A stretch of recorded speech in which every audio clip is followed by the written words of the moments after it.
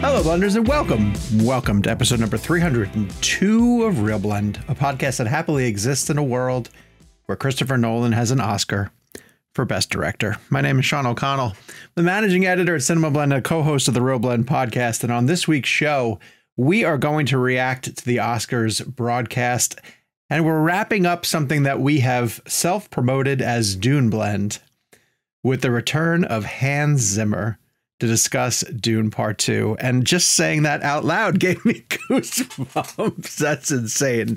Uh, Hans Zimmer's joining the show. Um, hello, everybody. Welcome to ha- welcome to ReelBlend. I know it's Friday, and I know you're, you're you might be over the Oscars, but we have a lot of thoughts, and we kind of figured you guys would want to hear from us regarding them. Uh, I'm going to start with Jake Hamilton of Fox 32 in Chicago. Hello, Jacob. How are you, sir? I, am picturing um, Kevin McCarthy, who is not with us this week because he had a right. a, a, prior work commitment. But I, I picture him existing in a uh, post Nolan Oscar world, just laying on the ground, hugging his two steelbook copies of Oppenheimer. um, that's where I picture he's at right now. Tell the truth, Jake. Kevin imploded. He Kevin no longer is with us. he, yeah, just he's gone popped like a soap bubble the minute it happened. yeah, that's exactly, exactly And right. the winner is Christopher Nolan Kevin glo- glowed and popped and just yeah. done. But to your point, um, I you know I do I like to think that our uh, thoughts on the Oscars are worth listening to, if only because our guest today, Mr. Zimmer, uh, referred to us as people who are helping save cinema. Ooh, it's true we did. Yes, it's true. That's a that's a great tease. Uh, filling in for Kevin is Gabe Kovacs in the producer's chair and yes. co-host chair. Hey, yes. Gabe, how are you? Say, I'm I'm savior of cinema number four on the call sheet. I think. So for, uh, Sean, yeah. you know you know how I know that we're in the best universe within the multiverse? Tell me. Because not only does Christopher Nolan have an Oscar, but that yeah. trophy was handed to him by Steven Spielberg. Oh, by Spielberg. God. On the 30th anniversary of the year that Spielberg won his first Oscar for Amazing. directing a biopic yeah. about an important person during World War II. And yeah. not to jump ahead, because we are going to comment about the um the Oscars in general, but the format of the multiple uh, winners and maybe they've never done this for directors, but instead of needing five directors to come out and, and honor the, the category, they just had the the one came out. He was like, "I'm need. sufficient." Could you imagine yeah. if they had ten Best Picture winners come out to do the, to the ten Best Picture? it wouldn't have mattered because Pacino would have skipped over all of them. and yet they were still kind of vamping for time at the end yeah, to, yeah. to, to, get people to Abbott Elementary. Uh, that was Michelle's one question because Michelle went to bed early last night, and when she she woke and woke up this morning and she said, "Did you watch Abbott Elementary?" no, uh, no, honey. I went right to bed after the Oscars. Did she's you see a teacher, so she's a huge fan. No, who was on it? It was Bradley Cooper. Oh. Was he really? Uh, yep. Ah, good for and him. I, I love that awesome. they promoted him as, uh, even though he could have been Oscar winner, so, they promoted him as Oscar nominee because they knew he wasn't going to win. So Aww. he was uh, he was in more of Abbott Elementary than he was in the Oscars broadcast. Oh. I love 0 for 12. He's 0 for 12. Hey man. Listen. I say that just sounds like he's doing great work, you know? Look, at, at, at the end of the day, he gets to be Bradley Cooper. He's pretty fine. Yeah, pretty solid. As Kimmel joked, he's a winner of the genetic lottery. yes, exactly. Right. Exactly. As for based, most of the people in the auditorium. They actually based Limitless on his life. uh, hello, if you're watching us on the YouTube channel, thank you very much for joining us. We are gaining subscribers at a um, at a frantic pace and, and, we love it. It means you guys are sharing the show with friends and family members and people who love movies as much as we all love movies and like getting together on a weekly basis to geek out about them as we are going to today with our friend Hans Zimmer. If you're listening to us in an audio format but want to check out the video feed, we are at youtube.com backslash ReelBlend Podcast. If you're joining us for the first time, hit subscribe, turn on your notifications, and you'll be alerted every time that the show drops, or just listen to us where you get your audio podcast needs met. Have you signed up yet for ReelBlend Premium? Guys, I tell you about it every single week. The ReelBlend Premium gets you an ad free version of the show, and it also gets you a newsletter from me. Little additional insight into the film industry from a seasoned veteran like myself. I just picture every newsletter now is just a, just like a selfie of you just looking just a missive. Camera. We should get you. Uh, you don't have like a like an author photo in the back of your books, do you? I feel like no. Oh, I do. Yeah, yeah. You yeah. do? I okay, do. sure. I, yeah. I, need to look at which one you have. I uh, that's the pose I want you to have when I when I open the back That would be great. If someone can, because we've got some Photoshop wizards out there working on this. Can I My get God, a, a pretentious, I get a pretentious ReelBlend author shot? I'm actually giving it to and, you guys and right in the now. spirit of um of the ReelBlend Oppenheimer photo that was created Yes. of us. Oh, um, yeah. How you feeling Can we about can that, we Gabe? make uh can we make Sean the balding one this time? I was gonna say the hairline's looking good That, today. Jake. that was uh, everyone's really bothered reaction you, to that. didn't it? It, it bothered everybody because that's Wait, he's the only one on the show who's, who's won an award for his hair, right? Gabe. I, I will haven't say- won uh, an award for my hair. I've won two. Oh, I'm awards sorry. It's for my hair. well, the minute I opened that photo, I thought, "Ooh, Jake's gonna have a problem with that." And I tried to chalk it up to like, well, it's a role that won Downey the Oscar, but it didn't help me at all. All right. Speaking of Oscar winners um, and people who we adore, uh, I don't know if we said that, but we do adore Hans Zimmer. And Hans Zimmer came on the show once before and was fantastic. Please go back and check out that old episode. I believe it was for uh, the Was first. Dune Part One? Yeah, it was for Dune Part One. Yes, But that's when we became um, show friends. show friends. That's show what I like friends. to call us. Yes, he is. And then this time he's upgraded us from show friends. to saviors of cinema. this will all make sense in context. Um, and so I'm going to stop trying to explain it and just throw it to this week's official interview on behalf of Dune Part 2. It's Hans Zimmer, legendary composer and show friend of the ReelBlend podcast. Oh, look at look! at The, the dogs are having a go. yeah. They're saying hello to you as well. They're also fans of yours. Right, Yes. Good. Excellent. Yeah. They're unofficial co hosts of ours. exactly right. Excellent. Uh, All right. Ask me anything. Oh, we'd love to hear that. Well, we are going to start you out by just saying welcome back to the ReelBlend podcast. We absolutely Thank you. loved having you on not too long back, and so we're excited that you are back. I am going to lead us off with this.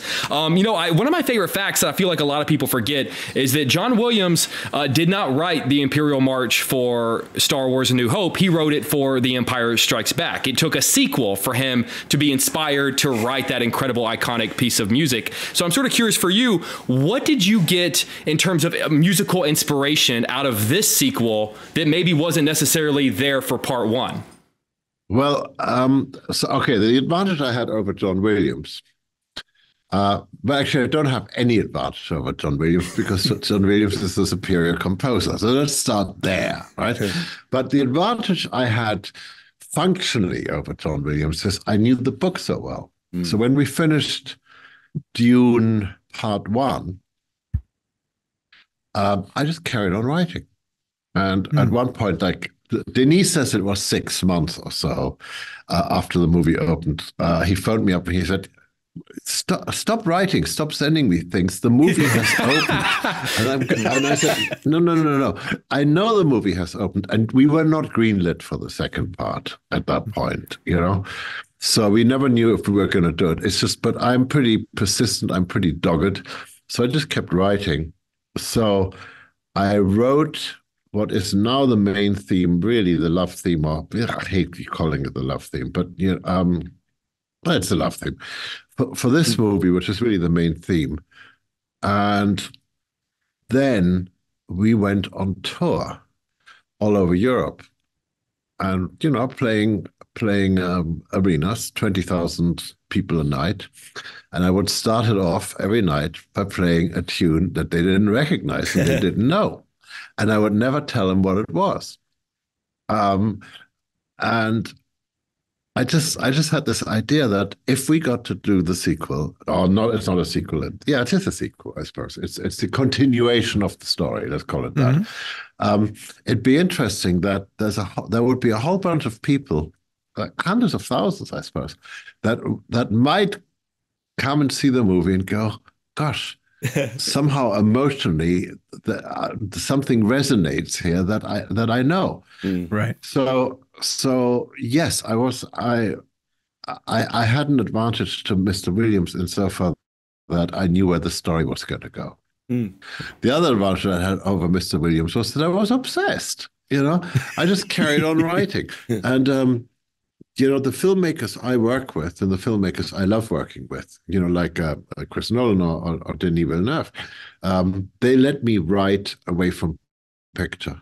In fact, um, it's it's only just now after you know after Denis and I did a lot of press together that I suddenly realized he never let me read the script because mm. I knew the story so well. So he he wanted you know I was the first person on you know he, mm. I, he was the first person he talked to about the, um, the first movie. Um, and and I knew so much from the book, and I remembered the book so well. So he wanted somebody who kept like this pure teenage spirit because we were both teenagers when we read the book and we were both teenagers when we fell in love with it and so but here's the thing we were we managed to sort of, I think we, we managed to recapture that teenage spirit, but we managed to execute the work with the experience of having done a load of movies in the meantime and, you know, right. having grown up and figured out how to not go and make a complete mess of it. Wow. Uh, Hans, I'm very curious when you return to a franchise, whether it be The Dark Knight or, or even coming back to Dune, and, and you're returning to a cinematic world, and you said you you kept writing. So, what is your relationship to the existing music in the sense that, like, do you feel obligated at certain points to reference it, or or yes, you... yes. Um, there, there there was a moment, I can't even remember when, but I remember there was like a moment where I was where I was suddenly went, oh, I better listen to the old one again, the first one again, because I am. I think I'm leaving it too far behind. Really interesting. Um, because what happens with me is, you know, um, once I've written it, it's like I've written it out of my system, you know, mm. and it's it's uh, it's it's on to new things. So, you know, I mean, if we go back to Dark Knight, I had done all these horrible experiments for the Joker, mm-hmm. and um, there came, there came a day where we had to go and dub it. You know, more than a trailer, we had to dub a prologue, which Chris wanted to put out into the theaters. And I remember Chris actually getting a little bit of cold feet putting this crazy material in. Mm.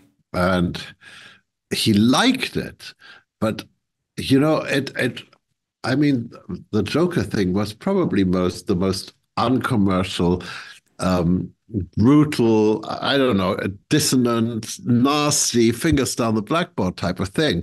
And, hmm. you know, go. But I, have done that a few times now. And I think I've mainly done this with Warner Brothers. Um, where I write something for their big summer movie or their big Christmas movie or something, which is completely uncompromising and and and and and you know, not cuddly and friendly. Um, but but I think I think that's part of part of the job. You know, part of the job is to go and and and, and commit and be daring. And you know, and when you work with people like Chris, or if you work obviously work with people like Denis Denis enough. And I don't know if you guys have seen, but lately there has been like this sort of love fest between Denis and Chris. Um, yes. Yeah you know, where they're interviewing each other, and the and in fact, we we went to um, we went. I was invited to a dinner the other night um, where Chris was being honored, you know, and, and, I was sitting at the table with Denis. So, you know, it, it, it, it and, it, and and and it was, you know, and and and the whole the whole gang was there. You know, Michael Caine was there. You know, and I mean, Cillian Murphy. You know, people. And you should not forget that it's it's been a handful of movies with Chris. It's been a handful of movies with Denis, but with Chris, it's been 20 years. It's been sure. or 21 years that we've been working together in one way or the other. Mm. You know, and Denis and, and I, I mean, we're we're so. I, I remember getting a getting a um, a FaceTime call from him, and I thought, it was something about the movie, and you know, I start talking about a scene, and he just got, he just says, "We're not talking about the movie. We're only talking about friendship today." Oh, you know, that's and, wonderful. And, you know, that's the people you want to work with. Yeah, I, I, have to bring this up, Kevin. I'm really sorry. I have to tell this story. We just had Denis on the show, uh-huh. And we brought up the interviews that he'd been doing with Mr. Nolan. And we've had Mr. Nolan on the show a couple of times as well, too. And we said, You're basically friends with Chris at this point. And Denis goes, No, no, no, I need to stop you right now. He's like, We are closely uh, like approaching a friendship, but he was hesitant to like embrace the fact that they're friends because he still keeps Nolan on this this level of this this pedestal. And I understand it, but like Kevin had to say to Denis, like you know that people think of you that way also. Like you're also a genius filmmaker that we have so much respect for. Well, but you see, it could have got, for instance, it could have gone really wrong that I did you know, that I switched from um, working on Chris Nolan movies to working with Denis. Um, and one of the first people to really embrace and congratulate me on on on the uh, on the first score was Chris. You know, mm-hmm. so he, you know, at the end of the day, it's it's it's. Uh, here's the thing: they're both great filmmakers. You right. know, they're great proponents of film. You know, we made a movie in in in in this Dune Part Two that you have to you have to see on the bigger screen. Otherwise, you are denying yourself an experience. You know, you're denying yourself quite quite a bit of um, actual footage. You know, uh, the, you know, the, the, you, you're denying yourself things you, you can only see on the. I see that you're wearing an IMAX hoodie. I mean, yes, okay, great. Okay, so yeah. you're on the I right show. Yeah, I can, I can stop talking right now. Yeah, you mm, well, know, because because because you get it, you get it, yeah. and and and I I venture. My guess is the reason you get it is because as as much fun it is to watch things on your iPad or on your whatever it is you're watching, on your, your, your laptop or whatever, there is an experience that you have when when the lights go down and you're surrounded by strangers and you all get to share the same dream or a version of the same dream. And the and it's it's a big image and it just the image sucks you in. And the the speakers are maybe a little bit bigger than your headphones, you mm-hmm. know, like or whatever, you know. And um, I mean, that was, you know, it's it's like, uh, and I, I understand why Chris, but Chris and Denis both got very very angry about it, you know, when when um, on the previous movie, I mean, we we were told 15 minutes before they announced it to the world that we were going to go and and day and date stream. Sure. And no, nobody asked us. Nobody asked Denis. Nobody asked me. And in a funny way, um, I, I, I, you need to ask me. If you tell me we're going to go and on streaming. If you if you tell me we're going to go, if we're going to make a movie that is basically going to go straight to television or straight to streaming or whatever, mm-hmm. great, I can handle that because I'll write it differently. I, you know, I won't put that much bottom end into things. You know, my drums will sound different, my top end will sound different. It'll be quite a different score.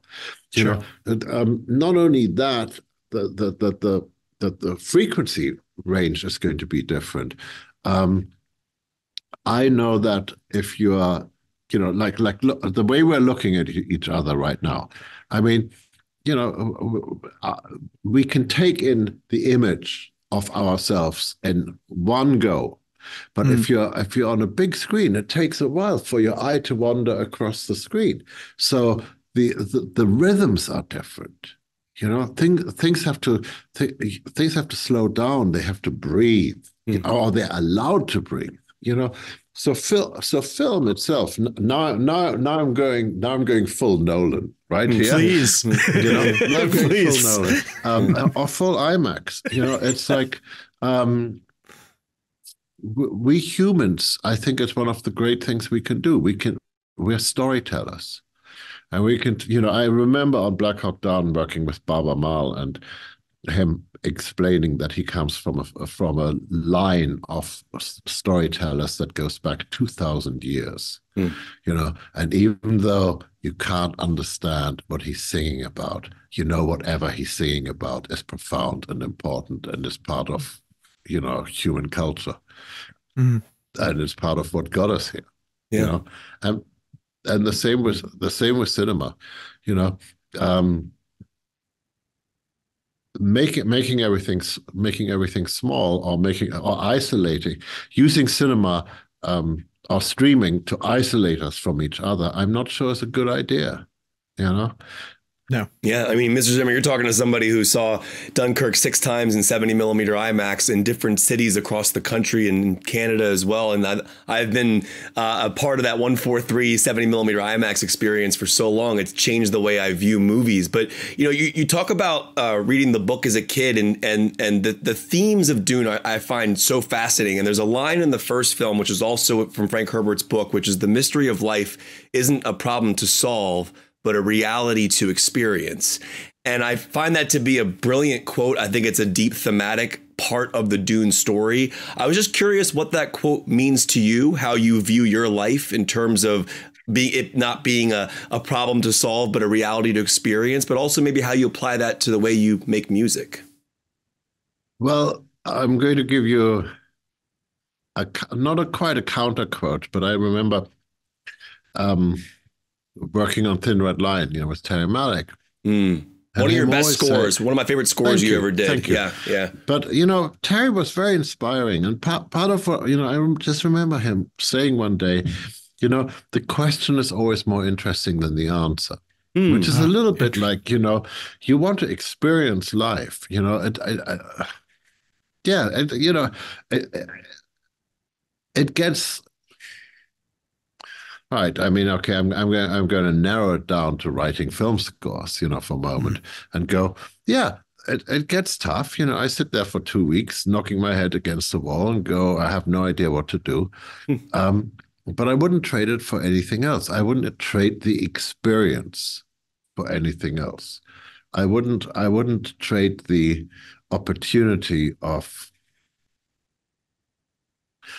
Number one, okay, so this is this is going to be the a lengthy answer. I wouldn't trade the opportunity, number one, of working with the filmmakers I work with.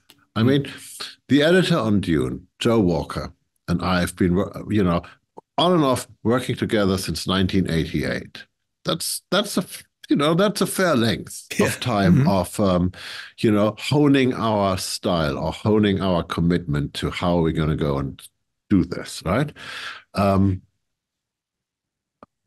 the musicians that are the, the, the difference between Dune and sort of pretty much any other score I can think of is number one, it's not an orchestral score out of an obvious reason that I wanted to, I, I did not want a, a, science fiction movie to have a, um, you know, European classical uh, music sound. You know, yeah. I mean, I, mm-hmm. I just, I just think it you know, uh, as much I, I love John Williams, I love Star Wars. Actually, I love The Empire Strikes Back most, um, but um, but but I just think that, you know it, it, that that wasn't my job. My job wasn't to go and and imitate a John Williams score. My job was to go, hang on a second. We are in the future. We are in on a totally different planet. Let's go and invent instruments. And then the other part, why do I love what I do, is because the musicians on this score, they're all virtuosos. You know, they're, they're Guthrie Govan.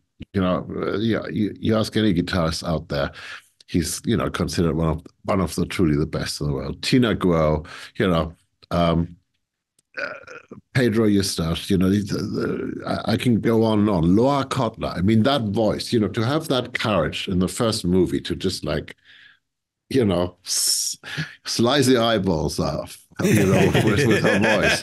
You know, it's, it's like, you, you know, it's like really going for it. So every single person, every single person who was part of this, uh, part of this journey and who is part of this journey, you know, is um, not only extraordinarily good at, at what they do, I mean, truly a virtuoso, but fearless in, in their own way, and at the same time, completely collegial. And I was, I, I, I, I was watching Maestro. You know, you know, I get in that movie, you get to the scene which is the Bernstein conducting Mahler Second at Ely Cathedral, and it, mm. it's actually one of my favorite moments in real life. You know, you can go and look it up on YouTube, and um, Bernstein is just like, I don't know. He's he transcends. They are transcendent. Everything is like happening. And I was going, oh, hang on a second. That's what happens when Denis is in the room and all the musicians are in the room. He is our Leonard Bernstein. He's our conductor, you know? He's, you know, he he is that. Um, and um, for instance, that that that rebel yell, that banshee cry of Loire, it's just at the edge of her ruining her voice forever. But Wow. you know, for for Denis, you just want to bring that little bit of extra. Oh my gosh. That's amazing. I mean, you guys, you guys, you guys talked to him. You know, you guys had him. You know, you you you, know that there's a man who who is is is you know not only uh, incredibly imaginative and incredibly brilliant at his work, but there's a gentle soul in there. There's a there's a huge big heart that, that It's in his you know, eyes. It's in his yeah, eyes. I mean, yeah. it's it's like you know he's he's wonderful. You know. And yet we were joking that he stopped us to say he goes, I don't use the term genius that often, but but Hans Zimmer is a genius. Oh no, like, no, he no! You see, he would never have said that to me because very early on, very early on in our relationship, um, because he's so generous. You know, he's so generous. I, you know, and so so I play him something and it moves him, and then he he needs to talk about it and he needs to compliment me, and I'm going, uh, Denis, we gotta move on. You know, it's like we got a movie to do here. Um, anyway, I get really embarrassed by compliments. So, so he said, "What, what, what, what, what should I say?" And I'm going, "Oh, it's it's simple. You know, it's like I play you a piece of music, and you just go, it's shit." Or it's not shit. and depending on how you say it's not shit, I will know everything about it. has has Nolan ever told you that was shit?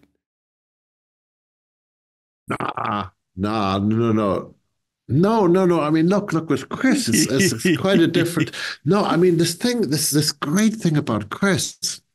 Um, so he writes his own scripts. So does Denis. Um, and with Chris, I I love reading Chris's script because uh, I have two ways of working. Like, for instance, with Denis, uh, I didn't read the script because I knew the book so well, and it, I, I was more interested with him telling me his story, how he Mm. wanted to do it. I wanted to know what was in his head. Right. With Chris, I love reading the script because I actually love love reading his writing. But then when we start working, at the beginning, I'm talking about Chris's movie, Chris's words, Chris's I, uh, script, and then as as we go along, we talk, and it becomes like we're not talking about his movie or my music. We're talking about the movie and the music, and it becomes completely impersonal. So we can say anything we want to each other. Um, and compliments are not not part of the conversation because they're you know they're they're um, like they just hold up you know the you know they, they hold up us getting on with things. the process. Sure. Um, the process. So so so so the only one I'll give you is this one, is um. You, everybody knows the story of Interstellar that he wrote a letter to me, and you know I wrote it from this from that letter. I have an interstellar Yeah. tattoo right here that says "Stay," so I'm I'm, I'm all in on this. Right, Please, okay, please tell right, the story. Yes. Okay, right, right. Well, the story the story is simple. Chris and I were at a party that we didn't want to be at, um, so we were at, we were like in some corner while you know Rome was burning or whatever. The, I have no idea what the party was. Um, so we're talking movies. Of course, we're talking movies. Of course. And um, he looks at me suddenly and he sort of pulls back a little and he goes, Would I be up for spending one day just writing whatever came to my mind if he sent me a letter which didn't tell me what the movie was, but just wrote a fable? I said, Yeah, great adventure. He actually phoned the director I was working with at that point to to ask permission that I, he could have this day, and you know, and the letter arrived, and it's it's this beautiful fable I, will never really tell anybody what it, it was so personal. It was so private because he knows he knows me so much and he knows my son so well. And it's mm. a, it's this beautiful fable about what it's what it is to be a father. Mm. And uh, mm. so I wrote this fragile little piece. Um, so Sunday I write, write this very fragile piece, which is the relationship between my son and me. I phone Chris's house. It's ten o'clock at night Emma, his wife, answers. I'm going, hey, listen, I've done it. Do you want me to send it over? She goes, oh, he's curiously antsy. Um, can he come down? Go, yeah, sure, come down. So um, he comes over. I play him the thing, and he's sitting on the couch. He's sitting behind me on the couch. He's sort of leaning back like this, you know, and I'm going, well, what do you think? And he's going, hmm, suppose I better make the movie so I'm going, well, what is the movie? You know, because there was no clue about what the movie is. And he starts talking about space and he talk, starts talking about all that stuff. Um, and I'm going, but tell me, Chris, hang on, how does this fragile little theme relate to big rockets and time and, you know, all, all, all the stuff that you had in Interstellar, right? Um, and and and you know, at the end of the world for for starters, he goes, "Well, I now know where the heart of the movie is." So it's a compliment. Of course, that's a compliment, but at the same mm. time, it's a very pragmatic way for him. You know, he he was struggling with the script, and it gave him. Mm. I mean, he, he he's told me he he just would put the headphones on and just just sit down and write. Right. So. um I'm not saying I had anything to do with writing this wonderful story and this wonderful script, but you know, part of the composer's job, and I think that part of the composer's job on Dune was as well, you know, um, inspire your director because mm. they mm. sure inspire you, you know, mm. Or they yeah. challenge you, or they whatever it is, you know. It's like um, that that that that's that's the that's the fabulousness of the world we live in. Oh, it is. Oh. Hey, listen, wouldn't I wouldn't swap this job for anything else. Oh, no. we wouldn't want you to. Yeah, yeah. I, am like getting teary eyed right now, man. I've seen that movie so many times. Jake, take us, take us out. Yeah. Mr. Zimmer, this is this is a big epic question that really could spawn uh, your, your your entire career. But there are so many moments of of so many of your scores that I love that have that moment that I'm waiting for for it to hit in the movie, whether it's in Dark Knight, whether it's Forgive This, they're like duh, duh, duh, or that that you know the beautiful voice that you're talking about in the Dune score, or the you know the Wonder Woman theme, the da na na na na na. So I'm sort of curious. Those are those are moments that you know as an audience we're waiting for to hit, but you have to also pick and choose just when you're going to use them. Because if you use them too much, then it kind of ruins the effect of it. So I'm sort of curious when you know you've oh, got gold. seen Dune 2. We've all seen, it. seen, it. Yes. Oh, yeah. Yes. yes. I've seen it twice. Yeah. So so you know Loire's voice, her banshee cry, mm-hmm. only mm-hmm. happens mm-hmm. twice in this one. Exactly right. right. And we were very careful about when we would bring that back. You know, so um, and a lot of that, in, in this case, was discussions with um, Joe Walker, mm. our editor, um, who went to music school while I didn't. So I, I wow, I, I listened to Joe very carefully. Um, with Chris, my mm. first experiences was Mr. Nolan was saying yes to Batman, but saying I don't know how to do it. I think I need a friend to help me out because I can I can be the Dark Knight. I know how to be dark. I know how to do that, but I don't know how to be as elegant as Bruce Wayne is. James said, Newton Howard. Phone your friend, you know. So, but so James was in London, but uh, Chris is phoning me because he needs a Batman thing. I'm going, uh, but I'm stuck on another movie, and he's going, look, look, just, just, just, just, just give me ten minutes. Just, you know, I'm having a little problem. There's a, there's a, there's a shot, and I can't make it work. I can't, I can't, you know, get there. You know, I'm going. So what's the shot? Explain the shot to me. And he goes, well, it's this very tall building, and it's night, and Batman's standing on top of it, looking across Gotham City. I'm going, that's the shot. That is, if you don't have that shot, you don't have a movie. right? Um, so, so um, it's not just a trivial conversation. I think there's quite a lot of responsibility that comes with this. And and he Mhm. explains, you know, how how he gets to the shot, etc.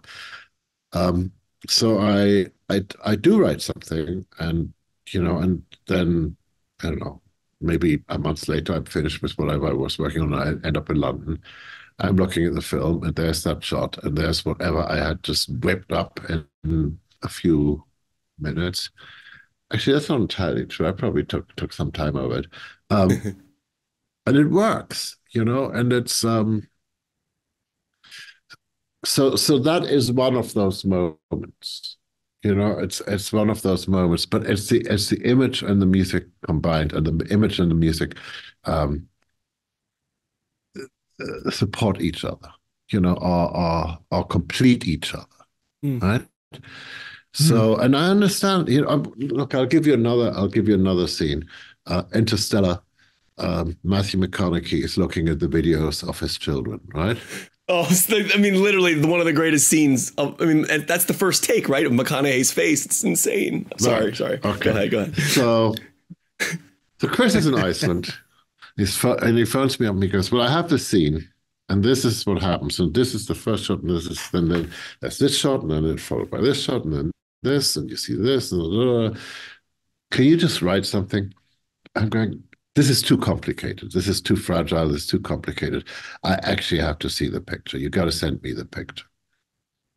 And he goes, but it's worked really well in the past. The way, you know, we we feel time in the same way. We feel, you know, um, the, the the the shape of a scene in the same way.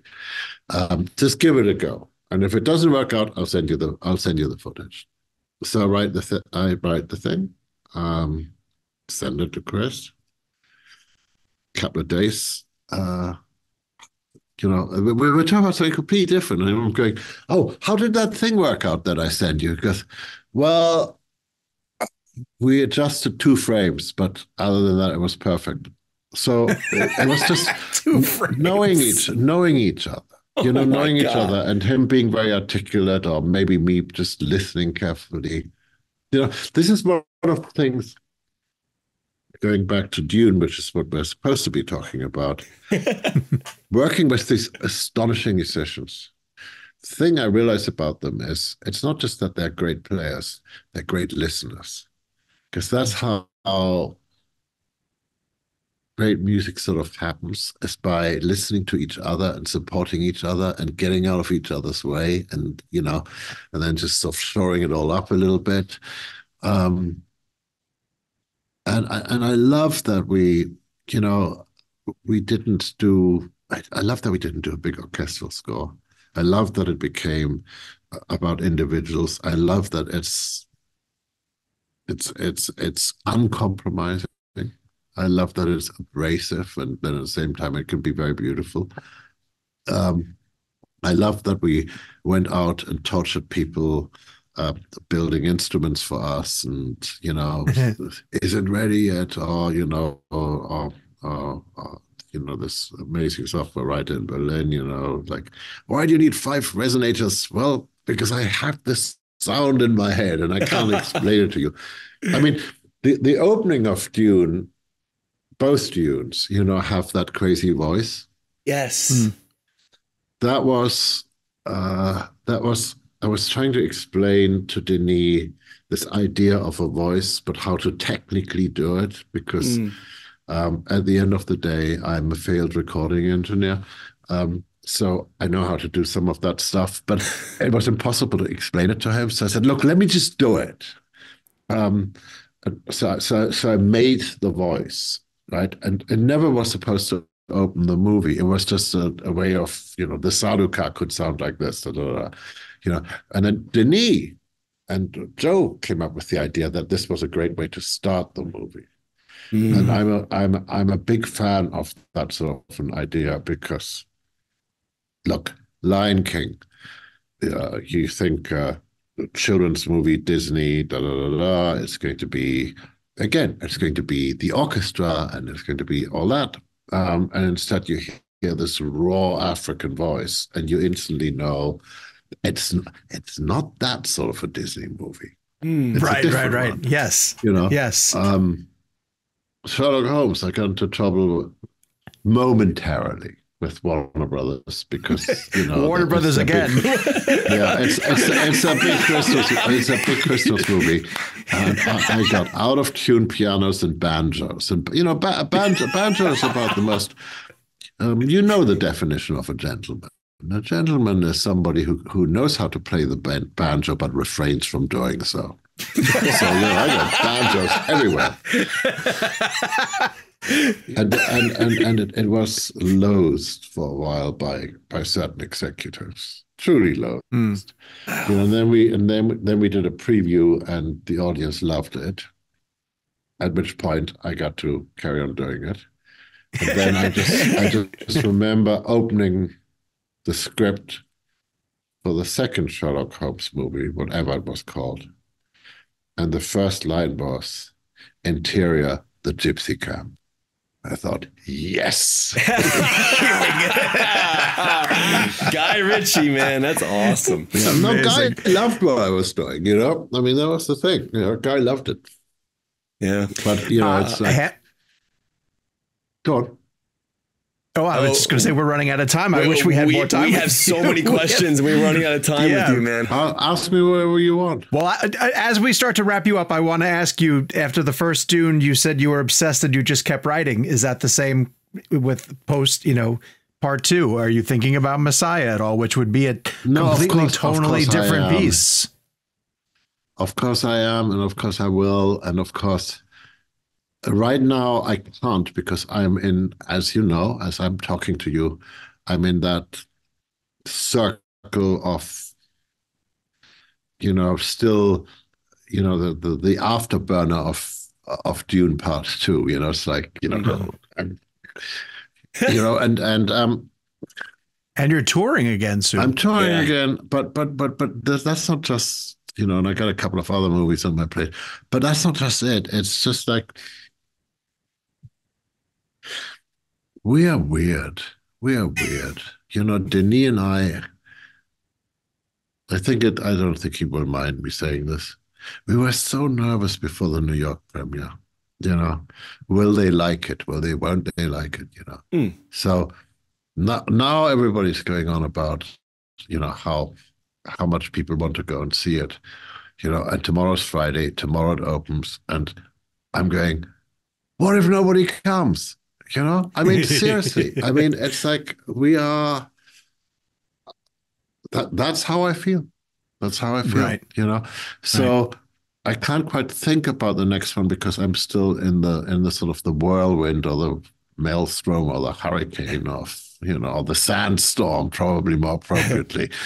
Of, very of accurate, very on brand. Yeah. Yes. Mr. Zimmer, Mr. Zimmer, I can't not ask you this before you go because what you did with Josh Brolin, I, I just love that collaboration and him playing the balisette and kind of how we're introduced to his character in this new one with the song that he's playing. And I know that he worked with you on that. Um, and I find that to be interesting because as a composer, when you get to work with an actor, I mean, I, I, was just curious what that relationship is like, and did it open you up a little bit more in terms of how you do scores, having an actor well, work on. with you? We've written quite a few songs together. Yeah, because right. there were quite a few songs in the first one, except they got ditched.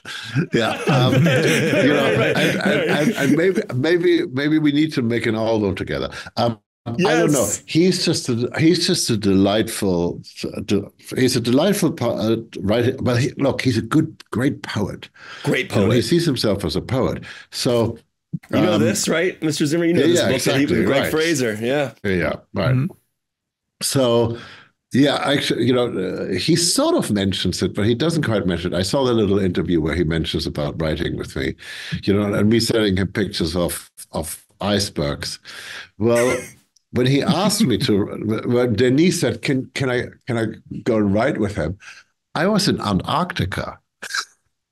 I was about as as opposite to the desert and heat and everything that you can imagine. You know, um, uh, yeah, and I kept sending him pictures of, hey, don't you think this? Don't you think the penguins are cute? You know, and stuff like that. Um, you know, and, and he thought I lost it and he was probably right. Um, but but then yeah no no but then it it it, it all came together pretty quick. Um, no problem. No problem. I mean, it, it's okay. So you're dealing with people working in 120 degrees in these suits. Um, sand gets in everywhere. It's the most uncomfortable experience.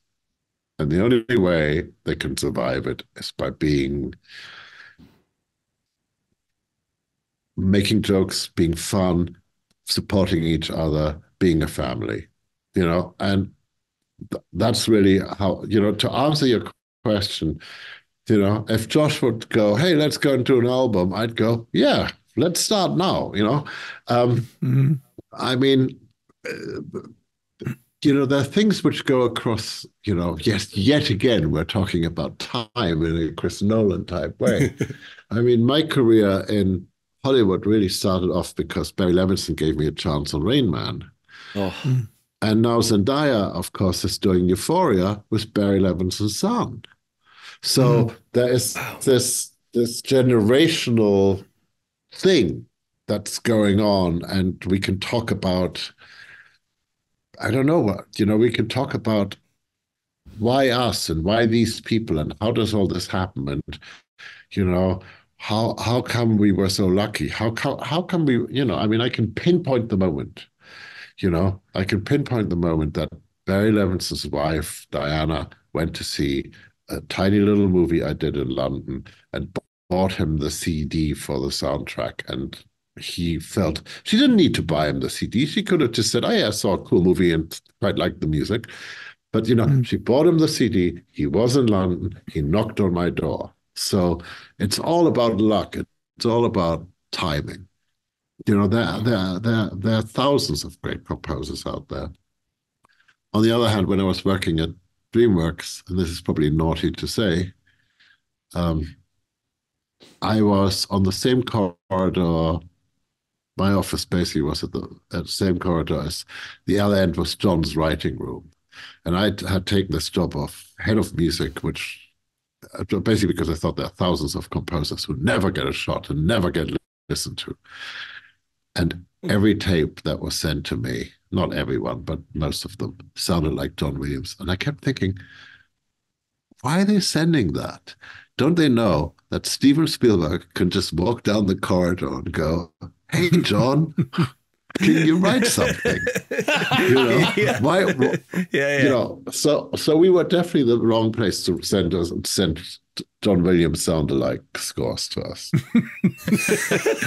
uh, Mr. Zimmer, if you can't tell, we could go on all day talking to you. It is nothing short of an honor. Um, in the spirit of you and Mr. Nolan, I would like to end by asking you this interview: shit or not shit? Not shit.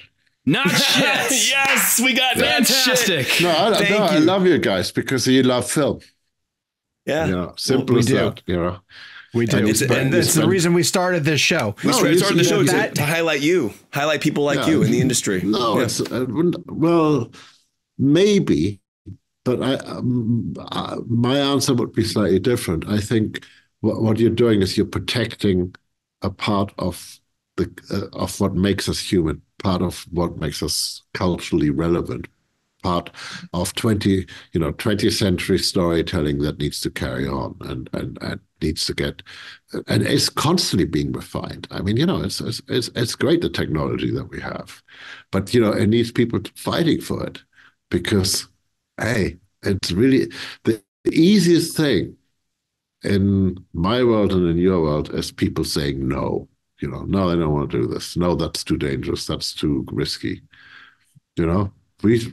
I carried on writing uh, after we finished the first part, even though we weren't greenlit on the second part. But I'm, I'm a tenacious bastard. yeah. We do it because we yeah. love it. We don't know what else to do. Okay. I, I, I, understand where you are coming from in that perspective. Thank, thank you for being you on our show. It's a pleasure to talk thank to you. you. Congratulations on Take the care. score and can't wait to get the vinyl. Thank you. Okay, we sincerely have to thank our good friends at Warner Brothers um, who have oh gone gosh. above and beyond to get us the incredible talent that we've had on behalf of their film, Dune Part 2 uh, a film that I personally uh, assume is going to be part of our Oscar conversation next year, uh, right around this time. So so book it. Uh, but they managed to get us time with uh, Denis Villeneuve, uh, Rebecca Ferguson, Hans Zimmer.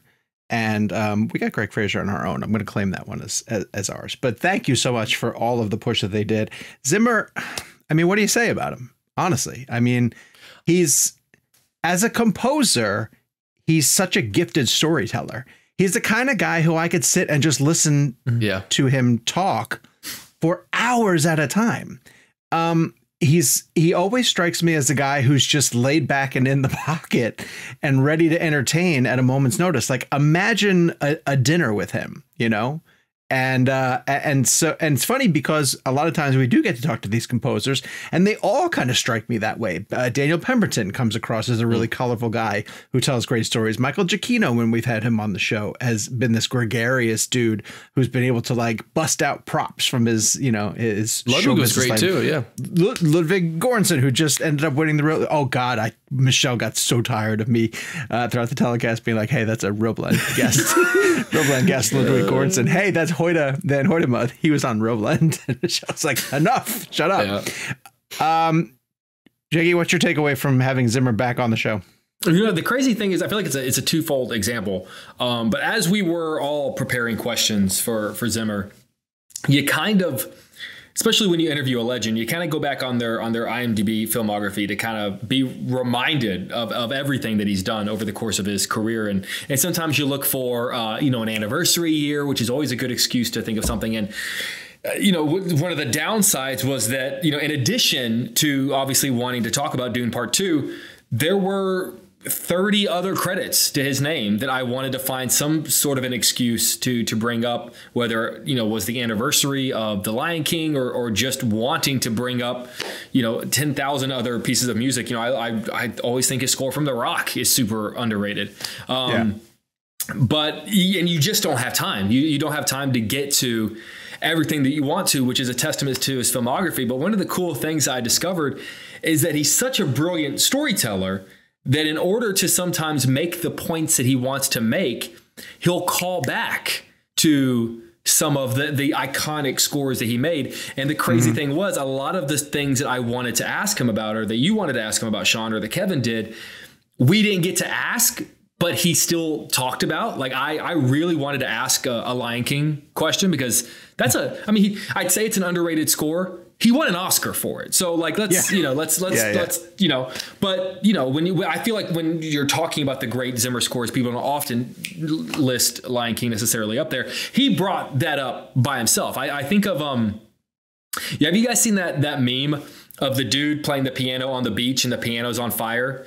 Yeah, and yeah. oftentimes the caption is like, for for example, here it would be like, "Hey Hans, it's just a cartoon about lions. Don't get crazy." and, then, and then it's Hans Zimmer and it's him on the, you know. so that's yeah. kind of what I picture, you know, whenever I think of, of him with the Lion King. But uh, you know, it's it's so funny. Um, I, I was just in LA uh, covering uh, Kung Fu Panda Four. Which, like, you know, I, I I went in to see it. I enjoyed it. It was fun. But there were a couple of moments where I was like, "Damn, the score is pretty good. Who who did this?" And I looked it up, and wouldn't you know, it's our it's our good friend, the Zimster. So like you know he even, even, even like he doesn't phone it in whether it's you know Dune Part you know one that he's winning an Oscar for or Kung Fu Panda four he's he's giving it he's giving it his all you know it's and it's it's remarkable and and the fact that we can I don't know Gabe was it you said 45 minutes the fact that we can go think that's right. 45 minutes and it's just sort of I feel like we barely chipped the tip of the iceberg that's sticking out of the water not even the rest of it that's hidden below uh, it's a testament to you know it, it doesn't matter how long we would have had with him, it wouldn't have been enough. If, if we Yeah. had done a, a four hour long sit down, you know, marathon of an interview, we still would have walked away going, ah, I can't believe we didn't bring this up, or ah, I can't, you know, know. and and and all we can do is hope that we have him on again. We also got, I think, really lucky both times, and that we didn't. You know, it'd be great to sit with him in person. Those Mm-hmm. are always have a different vibe to them. But I think we're lucky not getting him at the junket in person because Sure. both both of our interviews with him were were on Zoom. But he was like in his studio or somewhere. Mm-hmm. He was very relaxed. It was very casual. I think both times it was kind of later in the evening Yeah. for him, and that energy I think is good for the way he tells stories, the way he talks about, the way he answers questions for us. Mm-hmm. Uh, it just made it feel very special. Where like you're five minutes in and you're just kind of relaxing with with Hans Zimmer and and he's just Yeah. telling you about this is how Nolan um, came to me with with the Interstellar Yeah. pitch, Oh and you're like, God. Keep going, Yeah, keep yeah. Going. And, and the it, it- it's also too um, just a little sort of behind the scenes. We recorded this interview uh, the day before uh, our 300th episode dropped. So you know we were all already kind of I think at least I was sort of in my feelings about the show and and and getting very reflective. And you know anytime we hit those milestones, it's, it's hard not to you know take pause and and you know if, if only for a moment give ourselves a, a little pat on the back so you know uh, the fact that i was already in that mindset that day anyway uh, coupled with an interview from one of my you know favorite composers of all time in which he wraps up the interview by calling my friends and myself uh, you know some of the saviors of cinema which look I, I we we joke when we say It's that it's and- and us, by- you know, it's us, and it's Tom Cruise. that's exactly right That's what we always right. say. That's what we So, always you say. know, it, it, look, we're, we're, you know, we're not we're not uh, um, you know conceited enough to, to necessarily buy into that, but um, It's a very sweet thing to it. say. Yeah, it was a Speak very for sweet yourself. thing to say. it was a very sweet thing to say by a guy who we all admire, and the fact that it was said on a day when we were already feeling very reflective about uh, some of the accomplishments that we made on the show. It, it just it just it coupled for a, a very a very uh, sweet moment, a very great great afternoon. It also strikes me too how humble he is. I mean, he's Hans Zimmer for God's sakes. And if you remember the beginning of the interview, you bring up the Empire Strikes Back question, and he he's like one of the very few people that he could say this about where he was like he starts to talk about John Williams and he's like first off let's just let's just clear things up. John Williams is such a better composer than I am. And I was like you're, you're Hans Zimmer. What are you talking about? But he's John But it- Williams. but it's right. Yeah I mean, like, if you were Williams, going to make exactly. any argument about like who's who's taking up the John Williams mantle, sure. Hans Zimmer it was would probably lead that conversation. And look, I'm Yeah, you know I, I, I would imagine that that Zimmer want he doesn't you know Zimmer probably doesn't want to be the next John Williams. He wants to be the first Hans Zimmer. Which you know it's it's fair in its own right, but in you know when you're when you're talking about the greats, and and the reason I consider John Williams obviously for so many reasons to be the great is that I can go to my mom eh, who maybe doesn't know who John Williams is, and sing a couple of themes, and she'll know Sure. exactly what they know. And and I think we're at a point where we're starting to get to where with Zimmer where you can sort of whistle a few few things Sure. and and um and and know and know what they are.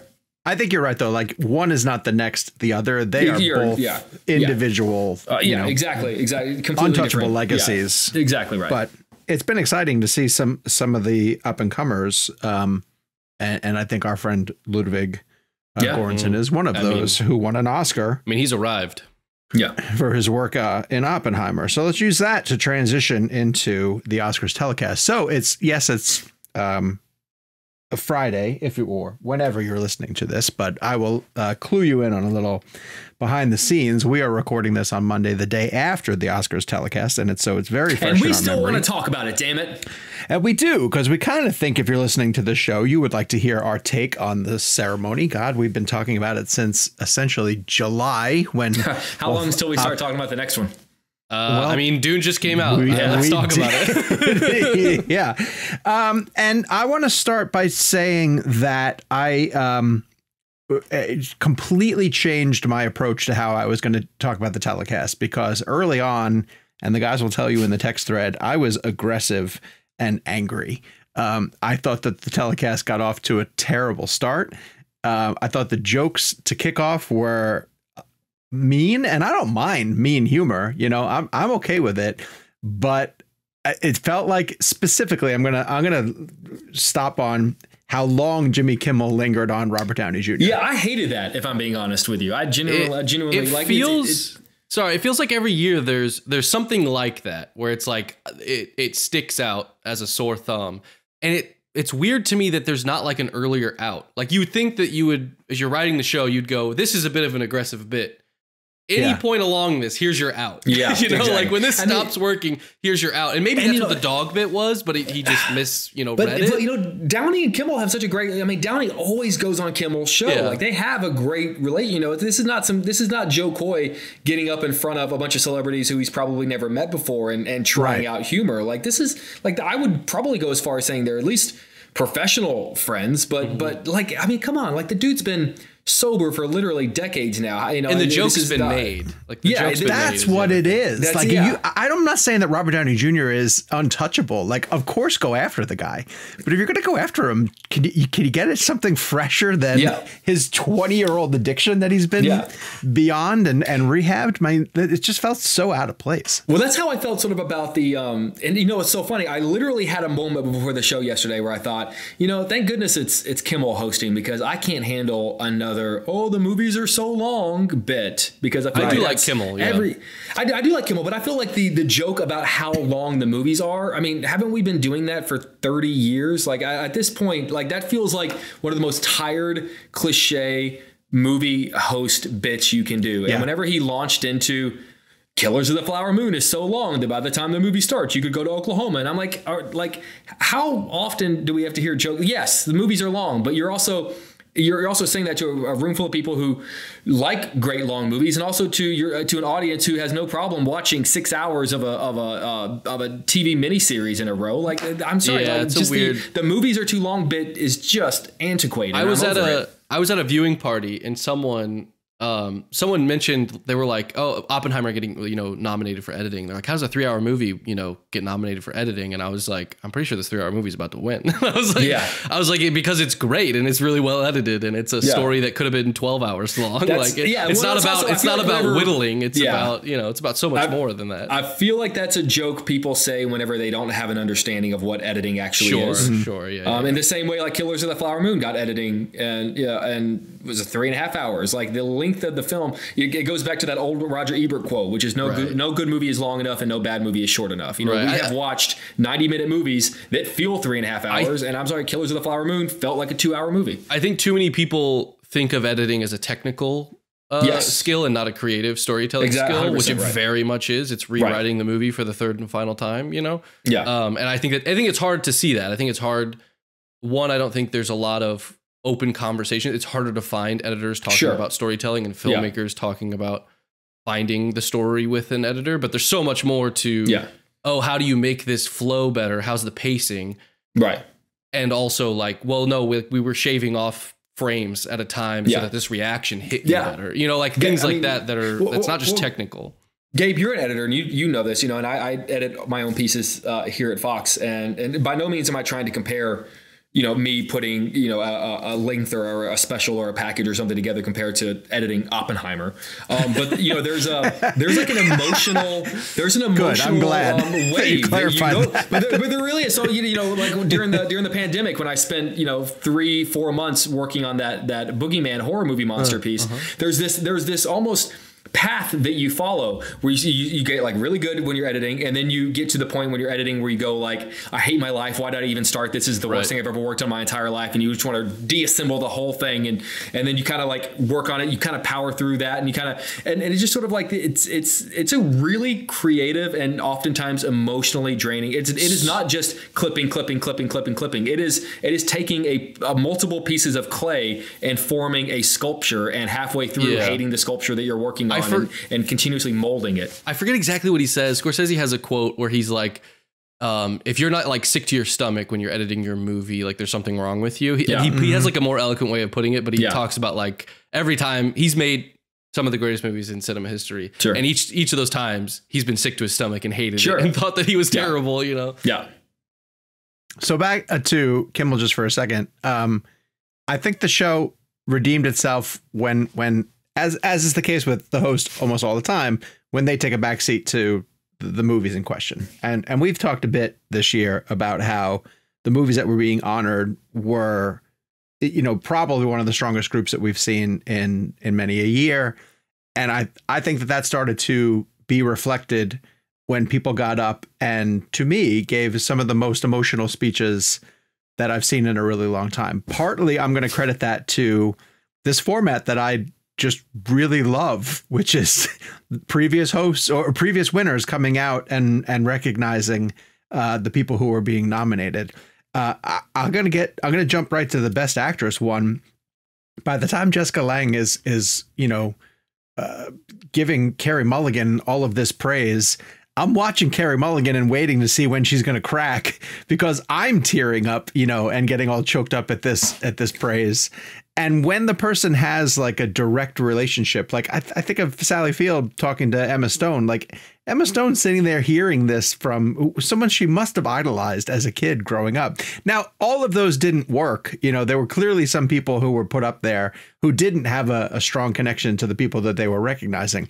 But when it worked, I thought it really worked. And and I'm going to vote for that format to just stay in place. I think it's I think it's tremendous. But I will say, and I don't, I don't dislike it. Like it, it yielded some really great moments. Um, the downside of that is is that we don't get clips of the acting. And that's always been one of my pet peeves is whenever we're telling people how great these performances are but at no point mm-hmm. do we ever show them. Because look yeah we've seen anatomy of a fall and and we've seen sterling k. Brown in, in american fiction but like there's a good chance that the average person at home hasn't seen all the acting nominees if not some of them. And i feel like it'd be beneficial to show you know so often you know i've always argued the relevancy of award shows is to not not to uh, entertain the people who are already you know sold uh, but the people who maybe have never heard of anatomy of a fall but then see that really great acting clip and they go okay well i gotta i gotta see that or like mm-hmm. someone go wait wait why why you know the thing my, my girlfriend still has not seen oppenheimer but like you know it's so funny she every time even though we've watched a couple of award shows together she always goes oh yeah he is in robert downey jr is in, in oppenheimer right and like it'd be mm-hmm. nice if like we showed some clips of you know but the thing yeah. is you can't do both like it like you know the the five past winners already extends that segment enough and sure. you can't do that plus show a clip and it's right. it's a have your cake and eat it too it's a really sweet moment but i do think it does um, the movies a disservice by not showing clips of their performances can i ask you guys a question to kind of move on from that i agree with that is the honoring the the stunt community with a with a reel is that a hey, is this enough? Or is that a, hey, we're going to add a category? Yeah, I, I couldn't tell if it, it, it, was either a really poorly devised uh, slap in the face or right. them testing the water. But the thing is, like, what do they need to test the waters for? Like, people have been screaming yeah. that they want a stunt category for years. Like, they don't need to create this segment just to, to then sort of peek behind the curtain and go, okay, how right. do people respond to that? What my yeah. what I'm hoping for is that they see that and they want that and whatever process has to go into making that happen is happening you know like i don't know the the bureaucracy behind that and this was my hope is this was a we see you we agree this is like a very important thing and and here's what we can do is we can include it in our telecast to some degree mm-hmm. i'm hoping that means it's coming i hope that means that the people behind the scenes that are making the show and in the academy are like yeah that's kind of insane yeah. that i mean this is a very morbid thing to say, but I we had this discussion at the viewing party I was at about why it's not. And it's kind of insane that like throughout the history of cinema, but in modern time, you know, the last like 50 years, like the people that literally give their lives making mm-hmm. movies are the stunt people. Like, sure. like those are the people that risk the most and that they're mm-hmm. not. We talk about how hard acting is and oh, the yeah. water was cold. And you're like, yeah, like so was the car exploding yeah, that you yeah. were flying off a cliff in, you know, like it's it's uh it is just a weird it's a weird blank spot. It also so it's getting It also gives the Academy and that telecast an opportunity to recognize a lot of these tentpole films that don't get into the conversation that Oscar seems to constantly be courting, mm-hmm. you know, some way somehow.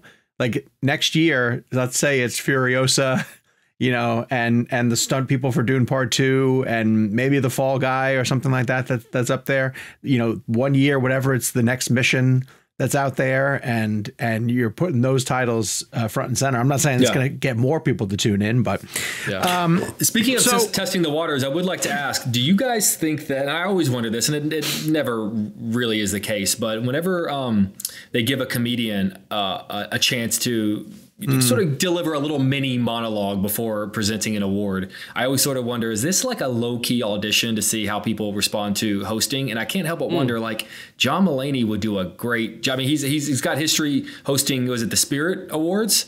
Yeah, um, he's so has he I written for the Oscars before? It wouldn't surprise me. He's written, you know, he wrote for, for SNL for years, and um, you know, and and that uh, that um, Field of Dreams sketch I thought he did was fantastic. He I- did a I similar. figured you'd love um, that, yeah. yeah. He, well, he did a similar bit. Um, he, did, he has one of his stand up specials. Um, he did a similar bit about the fugitive, where he sort of runs. Every, he keeps trying to like deliver a speech, but it keeps going back to like talk about the plot of the fugitive. Um, I, I think he would be fantastic, and and you know, if, if Kimmel's at a point where you know he, four is enough for him, Mulaney would be an incredible uh, You swap know, out. You know who else would be a fantastic swap out? Ryan fucking Gosling. Because Ryan Gosling can So do good. everything. Yeah. There's everything. I mean, I it, someone tweeted it. I wish I could remember who it was. It was the perfect summation. It's it was a picture of him performing mm-hmm. I'm Just Ken, and it said, "When you lose the Oscar, Yeah, but you win that. the show, Yeah. you win the show." I mean, it, it, he to me was the highlight Yeah. of embracing that song, you know, and all of its Yeah. lunacy. But I thought that that, and maybe it's just the, the way that it timed out to this show. The humor throughout the show was weird, weird in a in an okay way. Yeah. like I was I, the John I, mean, Cena haven't- bit. I haven't said this, but like, John I didn't Cena love was the show. what Oh, you okay. didn't love it? I, I didn't love it. I didn't love it. I, Oh. I, mean, I, I, I, you know, it's so funny. I kind of felt bad because you were texting so many moments last night that brought tears to your eyes, and, Yeah. and this show did not hit me the way so many moments um, involving everything, everywhere, all at once hit me the year before. Like to me, nothing hit the high, uh, the, you know, the highs of like a Ke Huy Quan winning Best Supporting Actor or, or a Jamie Lee Curtis or, or Michelle Yeoh. Like I, Okay. I, I didn't have like there were a couple of moments where I was like, oh, that was a good. You know, I love Da'Vine Joy Randolph's speech. There were a couple of moments where I was like, okay, that's a good. That was a good moment. Um, you know, I, I thought the John Cena thing was was really funny, um, and, and Yeah. it could have been a disaster, but I thought it was Yeah. handled so well. Um, and and yeah, the, the I'm just Ken was really great, but overall, I I found it to be an incredibly, and which sucks considering how much I love the movies that were awarded. I found it to be a very forgettable broadcast. Interesting. See, it, I think the show is at a point where it can only do so much, right? It, it's it's still going to butt up against the fact that the show ultimately is too long. That there's going to be high, highlights and, and then dips, you know, Sure. throughout the course of it. And I, I guess I give it credit for having to go through the checklist of items it feels like it has to do um the musical numbers the in memoriam you know and i'm not Yeah. saying that any of those need to The go short but- categories. but you get to them and you're just like, okay, now it's time for this. Yeah. And so ultimately, what pulled me through were the speeches. Um, and I thought that uh, Nolan's speech was really nice. It's a great Yeah. speech. yeah. Yeah. I thought that Jonathan Glazer's speech was fantastic. Mm-hmm. Um, I thought Emma Stone's speech was remarkable. I thought her getting so emotional. Yeah. I honestly don't believe that she thought she was going to win. I I, honestly believe that she thought Yeah. it was Lily Gladstone's And Oscar. honestly, like not not that this these sort of things are important, but like that her dress being broken moment was just so Emma Stone. It was so Yeah. like just a reminder of like oh she's you know it's, it's such a like a cliche expression, but like stars they're just like us. You know, like Yeah, yeah, yeah. kinda like Yeah. you know my my dress would break in that moment kind of thing. Um, yeah, yeah, no, I. I don't disagree. I, I never. You know, I, I think I texted you guys halfway through the show, and I was like, I feel like the show just hasn't had like honestly, I, I put together, um, I did a million segments on my morning show today about you know the speeches and the moments, and I had a hard, I had a hard time pulling together some of the like I pulled Yeah. some speeches from like the the winners that everyone wanted to, and I pulled John Cena, and I pulled the Trump moment, you know, with with the review for Trump, and I pulled you know obviously I'm just Ken, but for the most part, I, I feel like I didn't have a lot to really go like oh my god, as opposed to last year, I feel like I had so many, and also yeah, I think maybe a part of it was not loving Kimmel's um, opening monologue, and then he didn't really come back with like any great bits. Like, do you remember? And, and and again, this made the show go long, but do you remember like that bit that he did a few years ago when they brought like the tour guide, Yeah, and, yeah, like yeah. the tour group, in Yeah. to and they Yeah, like and they were like taking pictures Yeah. like like little stuff. yeah, You know, The, and I know uh, that, that the margarita show, bit with Guillermo actually was was or the tequila bit with, with Yeah, uh, but it just felt so fat. I mean, it was just sort of like you know that. You know, but it, the fact that it was br- like he was breaking the people around him were genuinely laughing. Yeah. Like for me, like that was Yeah. Because I think it was was he sitting next to Colman Domingo yeah, and, Yeah. got- and getting Yeah, people's yeah. names wrong, and, and he was just cracking yeah. up. He was like, "I like tequila." it was just Yeah. like it was. It was just was anyone anyone else teased for a heartbeat when the show opened and Kimmel was in Barbie sitting next to her on the bench that I thought we were going to get an old school Billy Crystal. I did. I definitely did. I, I didn't. But like as a host, to like how much and I know he's not the only one who's ever done that, but I think it is so associated with Billy Crystal. And Yeah. as a comedian, like how do you do that without just thinking I'm just ripping off another comedian, which is one of the worst things you can so. do as a comedian. You know, just you know. Yeah. And But then, that to me I- I is a like fun way to honor. Yeah. You know, that's a fun way to honor Yeah. the the the movies that are being recognized. Yeah, and, and that one I- was so well edited. The whole like, um, "You're so beautiful." I know. I haven't eaten Yeah. in three weeks. Like it was, it was very, very well done. See, I think he can, in a Billy Crystal esque kind of way, find the way to to find the humor in those moments. You know, Yeah. if they were to insert him into each of the the different movies. But you're right. I guess that there's an element of uh, of him copying. Was there any winner? So my my winner uh, or or lack of winner. That made me uh, so angry, and this is part of the reason why I was upset with the show in the beginning. Is Spider Verse losing Oh, in best best animation? And listen, I, I understand the boy and the heron is Miyazaki, and I I understand that many say. I people mean, believe it's, that it's, it's, if it's gonna lose to anybody, yeah, uh, uh, yeah, that's Yeah. fine. Yeah. But that fucking movie is, I mean, across, uh, and not just as but a there's a, there's another one coming, and that's the first half of the. You know, I- I think that they're. The, I uh, understand the that Oscars has argument. that the Oscars has that. I, to me, it seems they, they have that sort of bias of like, well, there's another But Gabe, one. We'll what if the third one doesn't around. happen? What if it never happens? I agree with you, but I think that that's you know that's the game they play as well. Are we honoring the movie? You know, are they going to do that to Dune Part Two because Denis might do Messiah? that's you know, my concern. Like, that's my concern. so did you Um, guys have a a, really a- quick sidebar? winner or Dune loser Messiah? that you were- Oh, oh well, go ahead. Well, I was we'll gonna say, I read a really interesting um, article. I think it was like Hollywood Reporter or Variety that that uh, brought concern about Dune Part Three because it it very much made a comparison between um, for people who've read Dune Messiah. The Dune Messiah is significantly closer to uh, Godfather Part Three than it is Return of the King. Okay, Um, interesting. And and it really sort of made me think like either it's going to be a much different movie than we all think it's going to be, or Denis is just going to have to make some shit up. Because the, the point that it brings up is that Dune Messiah doesn't really have big action set pieces, and it takes place uh, 12 years after the original, and it's more like um, uh, you know Paul is emperor now, and a, and a heavy lies ahead that wears the crown sort of thing. Like it, it drew some really interesting parallels to Godfather Part Three, and it's like you know it basically brought up this idea that that for people who are expecting a Return of the King, big, huge, it all comes together kind of epic thing. If that's the case, Denis literally going to have to make stuff like like Lady Jessica, Rebecca Ferguson is not in Dune Messiah. Not in it. Yeah, Yeah, so like he's gonna have to like create a plot line for her. Uh, you know, like he's he might have to just pull some stuff out of thin air and get creative, um, short of creating a, a disappointing third installment. I think it'll probably be won't be called Dune Messiah. I think it'll probably be called Dune Part Three. I was And I- wondering and I think Do that we that'll call it, be- Does he call it Dune Part Three? I think it's. I mean, if it's if that's the route, like if that is true, especially if it's it's gonna have to make a lot of changes. Um, but I, I feel like it it was already on that track because I think that with part one and part two, he was trying Sure. to incorporate the goal of Messiah. Sure. So like he doesn't need to create the exclamation point. Right, on, that's this fair. is a cautionary yeah. tale. And also too, you know, with with Anya Taylor Joy, and um, you know that was always wildly different, Yeah. and um, and how they they leave um, Chani at the end of, of Right. the movie versus the end of the book. I think yeah, you're not right. Sorry, that I derailed us, but I just thought that was a really interesting comparison that that, that it drew the line between um, Godfather Well- Part Three. While we're on this conversation, he does not end Dune Part Two in a way that has you saying, "Well, that could be the end if you want it to be."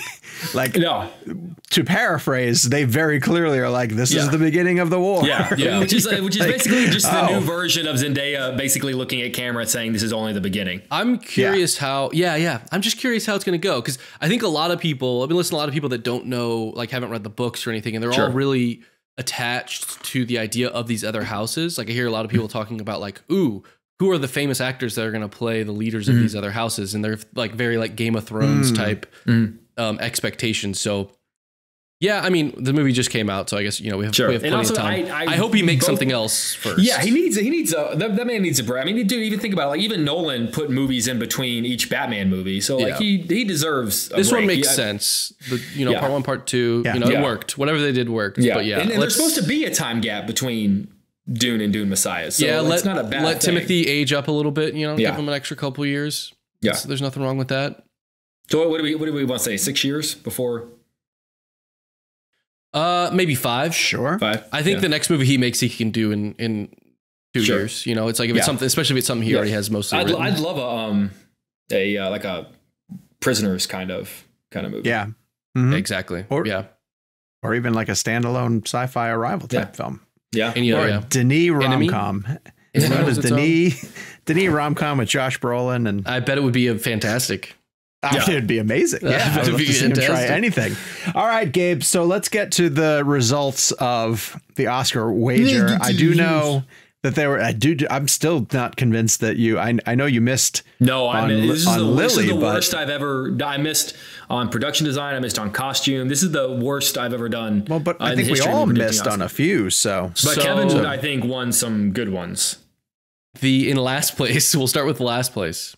oh no. Confirming his worst performance yet.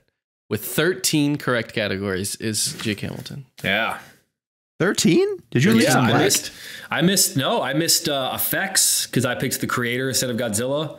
I did too. Um, I missed sound, um, which I think was a big one because I put Oppenheimer instead of Zone of Interest. Oh, I think I did too. So I Um, didn't missed- do much better I than missed did I, production design and and costume. Um, I missed I missed actress, which Yeah. Sean didn't you? I think I think Sean I think you but Sean's the only not one that weighted. got actress. I don't think No. we're weighted. No, no, no. We should maybe we should be. Um, Sean was just ahead with 14 correct. Okay. Thank But you, Emma Stone. But taking home, yes, with with Emma Stone. taking home the crown though was Kevin with 16 correct. He only missed one tell him. four. He can never know. yeah, he did. Uh, when he got zone of interest for sound, I He was got like, Zone of Interest "Ooh." and he got uh, Godzilla minus one for uh, Yes. special effects. Yeah, Did he that was really? Oh, good for him. That's great. Yeah. All right, good for Kevin. That was Uh, we owe him in and out next time we're all in Los Angeles. Exactly. You know, I don't because I feel like I haven't big, gotten any of the things that I have won over the last few years. I don't, I don't owe y'all shit. I took you out for barbecue the other night. What are you talking about? You didn't pay for it. No, He was I didn't. there. Yours was yours was way too expensive. Did we tell Gabe this story? Yeah, yeah, this yeah, is a yeah. very fun. Oh, Yeah. okay. I, thought, yeah, yeah. I I wasn't think sure. we were texting about it, but yes, uh, I mean, I'm Yeah, that would have been a good chance for you to buy me a Whataburger. Ooh, God, why would I do that to you? That's un- that's unnecessary. All right, so the Oscars have uh, concluded. Christopher Nolan has his Oscar. Oppenheimer has won, and now we move on to next year's ceremony, of which we assume that Dune Part Two will be a significant one. Um, as you're uh, heading out the door and and wrapping up this week's episode, tell us your favorite Hans Zimmer score. Um, we were joking before the show that I, I might have gone with Pirates of the Caribbean uh, had I remembered the fact that Hans Zimmer didn't actually write the main theme Yeah. of Pirates, which most people would whistle uh, in a crowd to get you to recognize it. So go over his filmography. Let us know what you think uh, Hans Zimmer's your favorite. Let's go with favorite score from him, and um, and we'll weigh in on that in the comments underneath the episode. Thank you guys for tuning in to our recap of the Academy Awards as well as our second in, uh, conversation with Hans Zimmer on the show. Go back and find the previous one for Dune Part One, where we also had Denis come on the show for his very first time. Um, and follow us on social media throughout the week as we chime in on all things movie related. We are at Jake's Takes at Kevin McCarthy TV, providing he's able to pull himself out of the uh, shock that he's in from Christopher Nolan holding a photograph of Christopher Nolan holding two Oscars. Kevin sent us that photo today. I will let you in on this, and also a, a wonderful picture of Steven Spielberg photographing an In-N-Out burger with The his best cell part too phone. is he keeps changing the image of the ReelBlend text thread to that, Yeah. and then Sean changes it back to Gabe as Einstein, followed by Kevin changing it back to Nolan. I keep getting notifications on my phone, but just realize that you guys changing the picture back and forth. big rift All right, in the I- text thread.